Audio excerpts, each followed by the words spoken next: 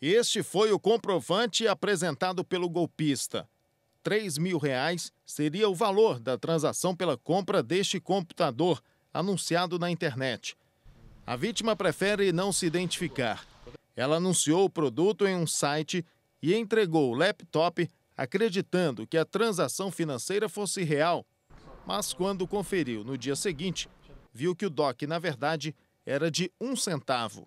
E ele pediu, perguntou se aceitaria é, por transferência. Eu disse que sim, aí ele fez um, um DOC.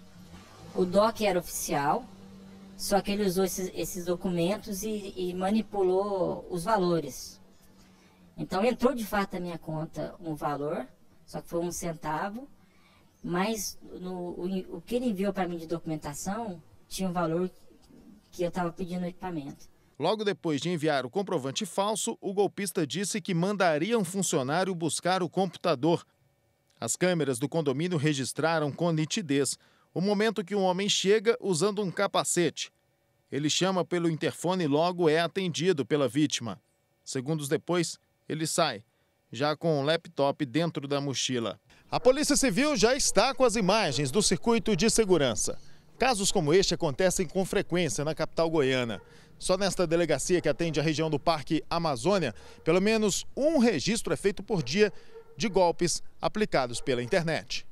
Elas podem responder por uso de documento falso, estelionato e se verificarmos a situação de, de um crime organizado, até responder por esse crime.